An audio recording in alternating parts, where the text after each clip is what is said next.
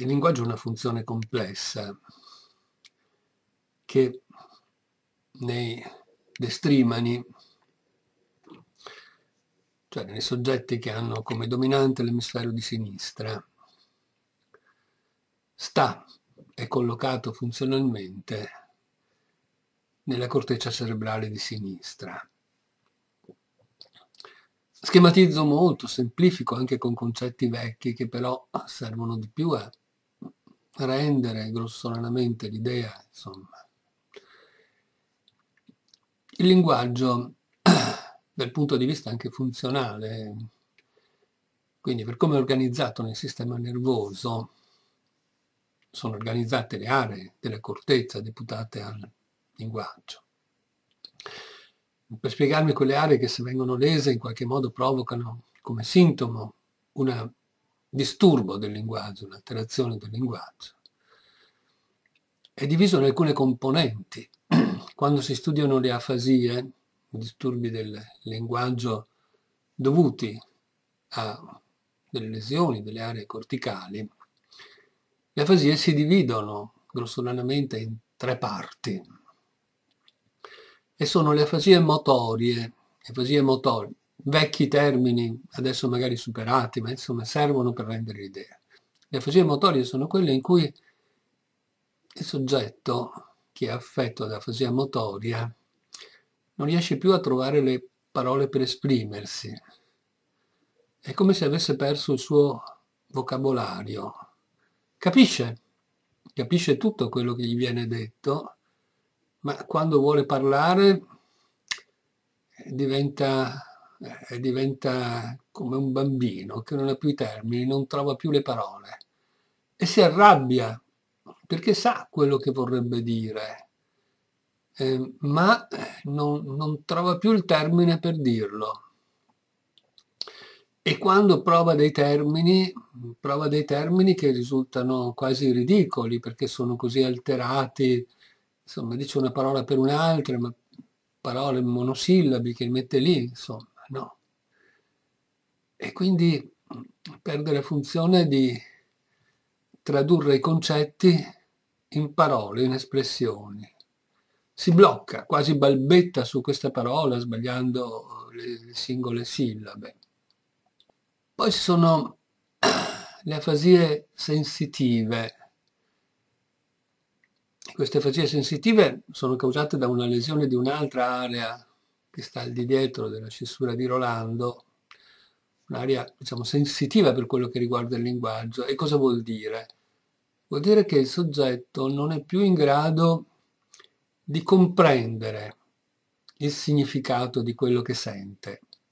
Sente le parole, quando qualcuno gli parla, lui le parole le sente, non è sordo. Ma eh, le parole che arrivano, che arrivano tradotte in segnali alla sua cortezza sensitiva, a questo punto non hanno più significato. È come se sentisse parlare un'altra lingua, sentisse delle parole che lui non sa più riconoscere e quindi non, non capisce più.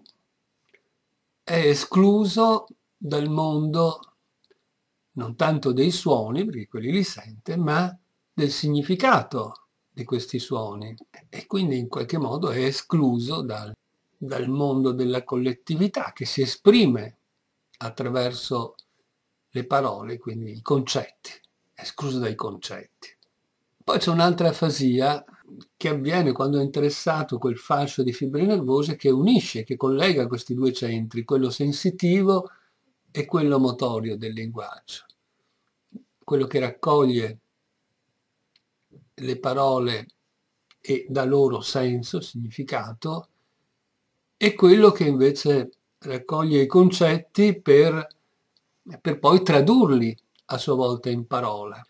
E questo fascio che collega questi due a volte viene danneggiato da delle lesioni, e allora ci sono queste afasie di conduzione, nel senso che quando il soggetto parla, e parla in maniera a questo punto fluente, dice tante parole, ma non le controlla più attraverso la sua mente, diciamo così, quella parte del cervello deputata appunto a riconoscere le parole del linguaggio e quindi a controllare quello che poi viene a sua volta prodotto.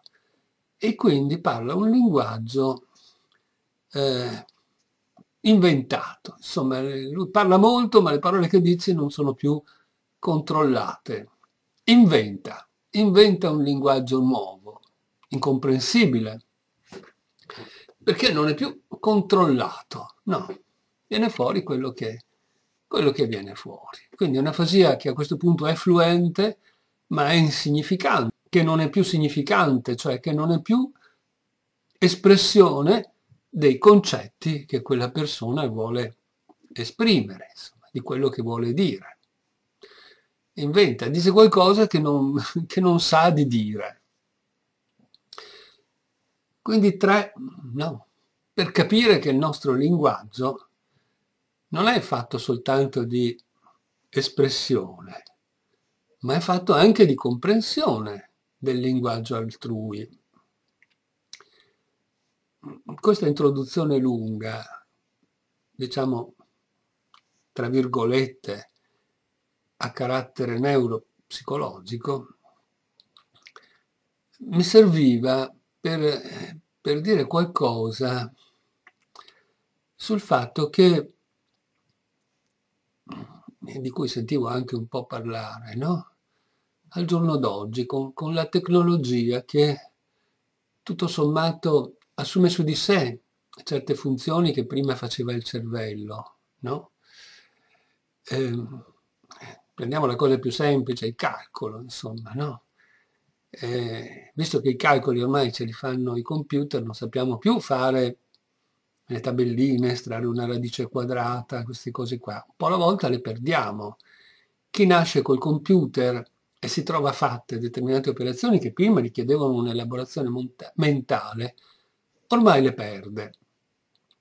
E così tante altre funzioni che riguardano soprattutto la comprensione. Pensiamo al motore, no? Una volta quando si andava in automobile si studiava il motore si sapeva quello che conteneva questa, questa automobile, come il motore funzionava per mandare avanti le ruote per far correre l'automobile. Adesso è molto più difficile saperlo e, e, se poi andiamo a tutto l'apparato elettronico che governa la macchina, diciamo, magari ci sono persone che sono molto in grado di farlo funzionare, ma non sanno come funziona, cioè non sanno i meccanismi intici, intimi che regolano il funzionamento. Quindi la nostra capacità di comprensione un po' alla volta diminuisce.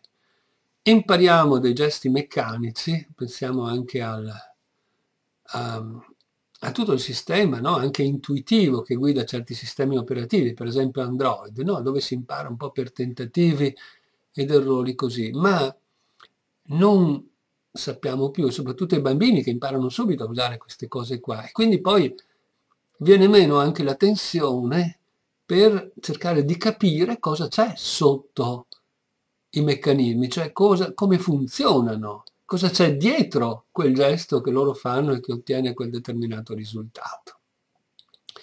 Quindi un po' alla volta si va a un depauperamento della capacità di comprensione.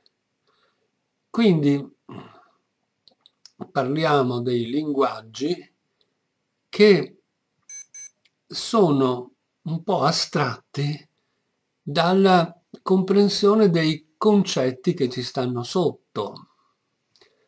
Quelli li deleghiamo a, a certi specialisti che lavorano magari solo su quello, ma noi ci accontentiamo di imparare a far funzionare una cosa senza più sapere come cosa ci sta dietro a quella cosa che impariamo a far funzionare, come funziona.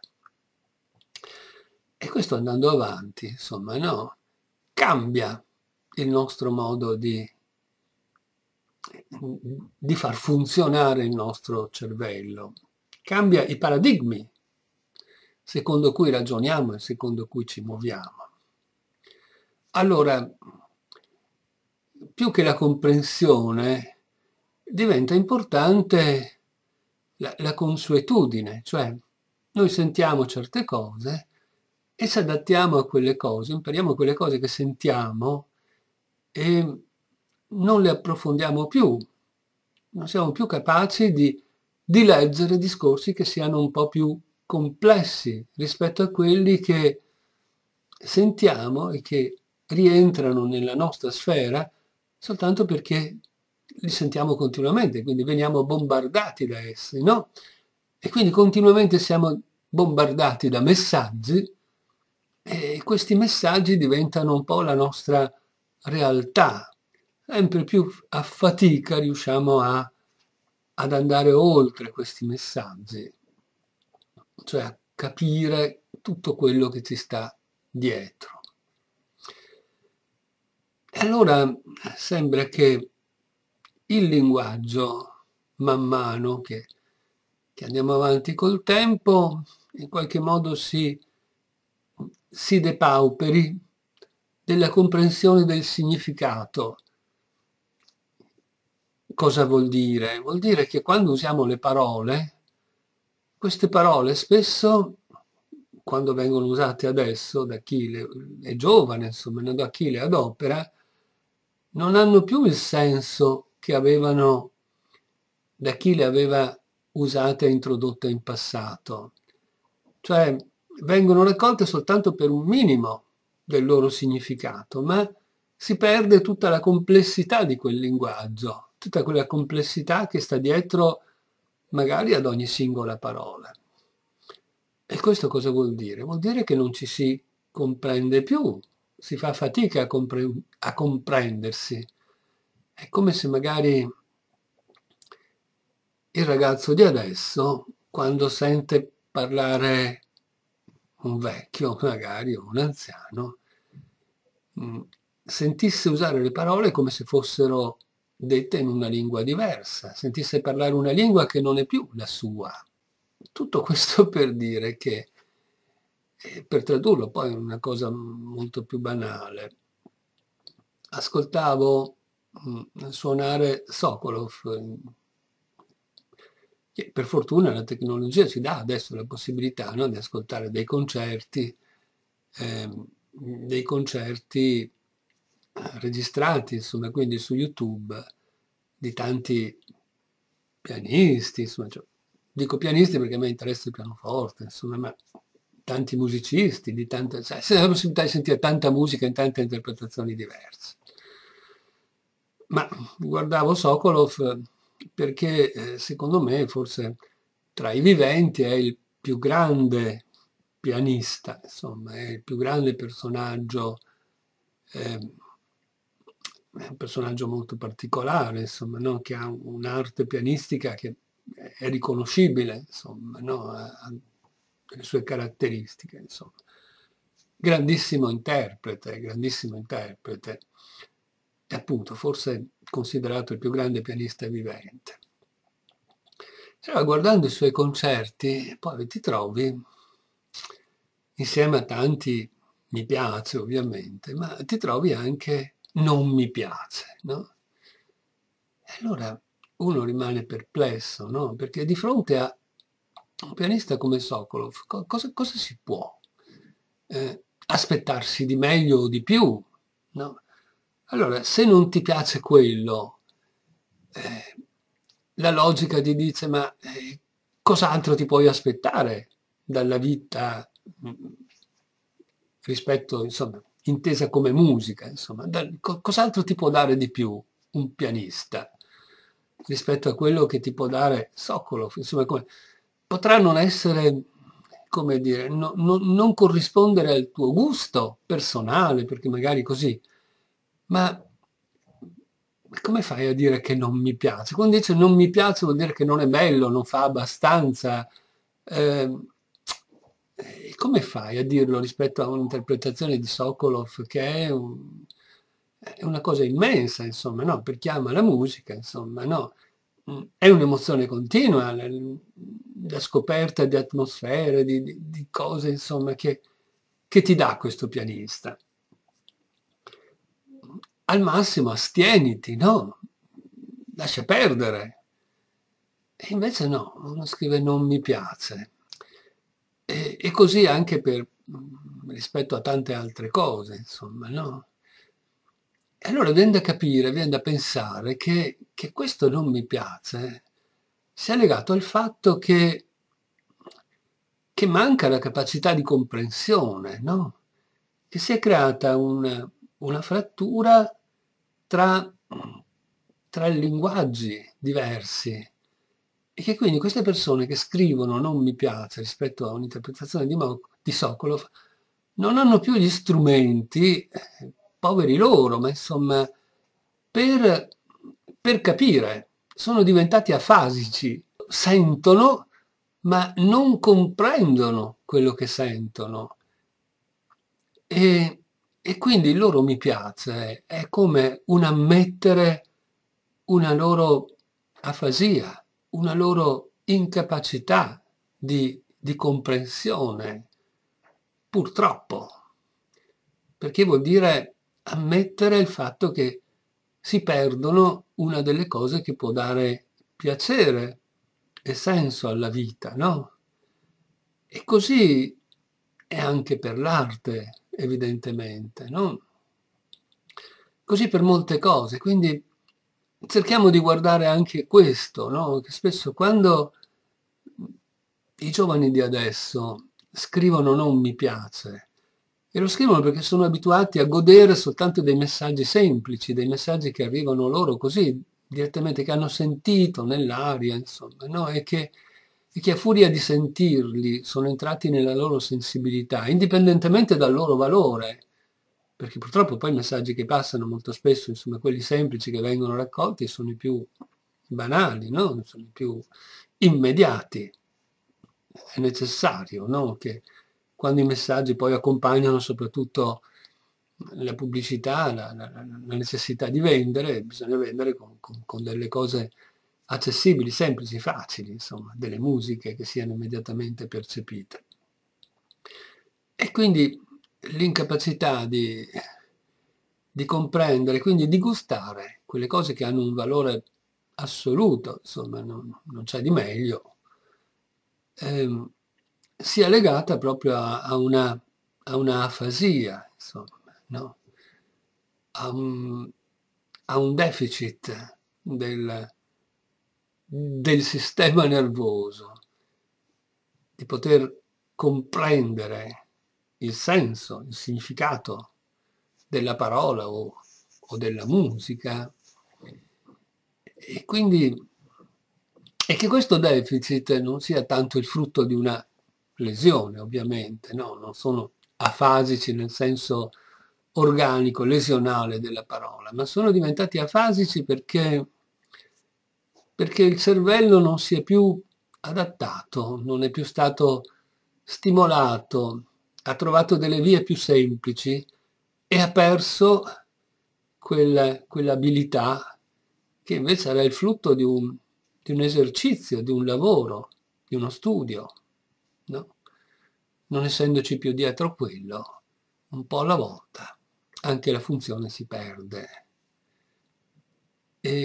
Su quello che sostituirà questa funzione, sul suo valore, se sia meglio o peggio quello che si acquisirà, quindi la nuova dotazione di cui saranno forniti i nuovi cervelli, sarà migliore o peggiore di quella che, di quella che si va perdendo.